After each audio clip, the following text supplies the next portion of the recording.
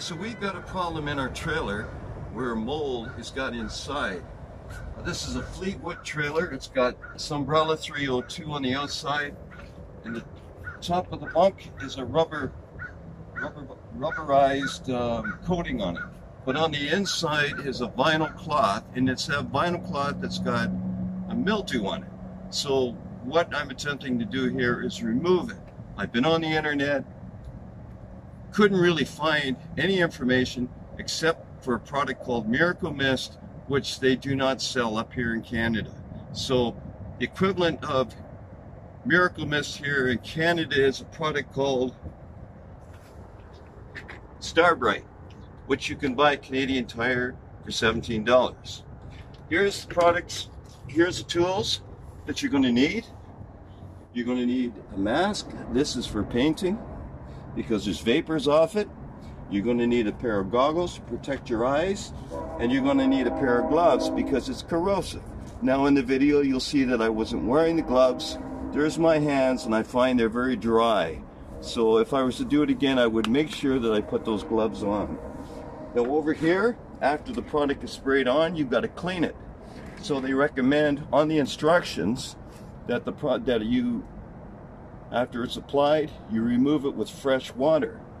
Well, you'll notice that there's a little bit of soap that I put in here, and that's because it's cool here in Canada. It's about 40 degrees Fahrenheit. So I thought by putting a little bit of soap in there, it would help remove it quicker.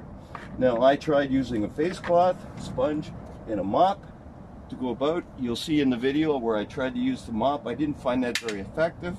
The cloth was not too bad. The very best was the, the sponge. And I gave it a real good, filled it full of water and rubbed the top of the canvas. Okay, this is the bunk end of our pop-up trailer. Ours is a Fleetwood. The vinyl coated fabric on the top end of the bunk has acquired some mold. Okay, this is the other end, bunk end, on the other end of the trailer. And as you can see, we have accumulation of the mold as well on the vi vinyl coated fabric above. Would like to point out we tried the vinegar and water right there and even tried straight vinegar but it did not seem to make any difference at all. So I will come back and show you what it looks like after we use this product Starbrite. Okay, so we're quite happy with how this turned out. Um, I did one application of Starbrite and there was a little bit of mold afterwards. I went back a second time and just uh, touched it up because I think I missed it when I was spraying. A lot of that mold was along the pole there and it's gone.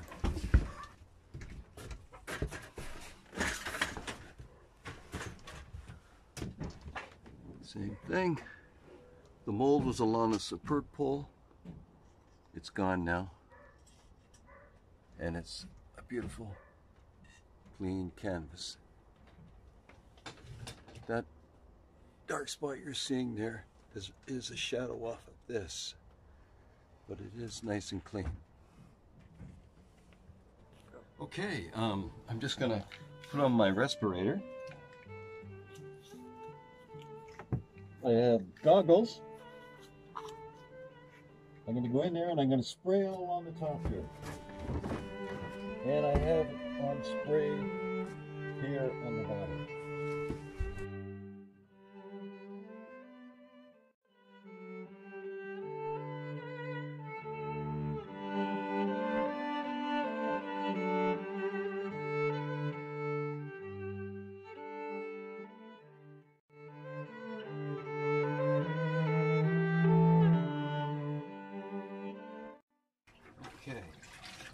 So you can do this a number of different ways. You can do it with a washcloth, or you can use a sponge, or you can use a mop. We decided to try it with a mop. So here we go.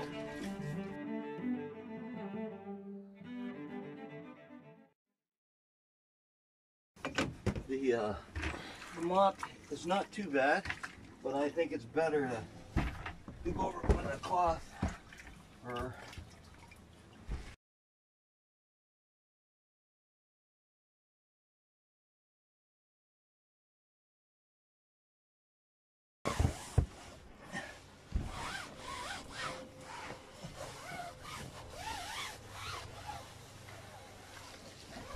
Okay, so what we'll do is we'll let this dry.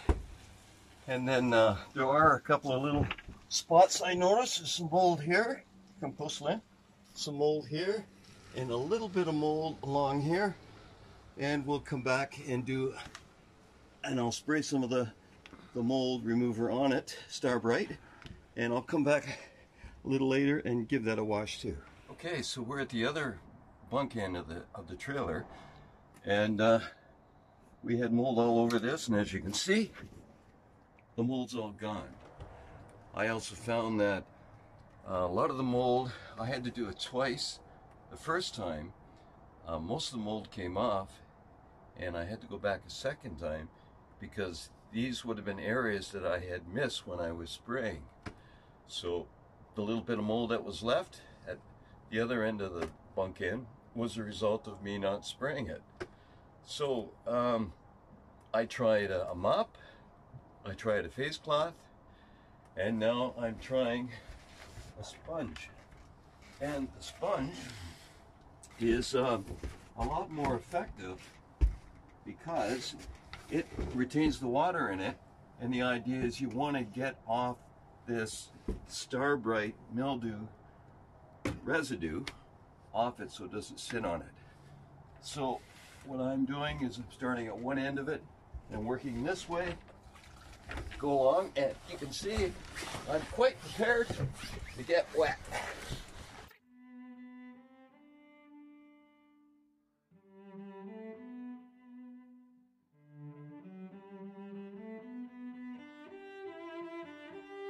That was the end of the video.